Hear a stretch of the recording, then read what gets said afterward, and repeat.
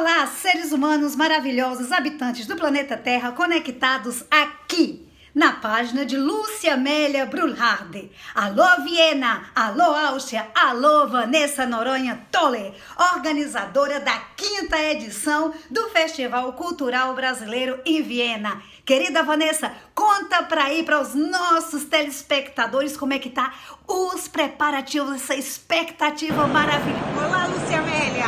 Estou aqui diretamente de Viena, na reinauguração, na reabertura do Museu do Mundo, o velho Museu Vim é, não tem lugar melhor em Viena para se falar do Festival Cultural do Brasil. Foi aqui em Viena que nasceu o Festival Cultural do Brasil. A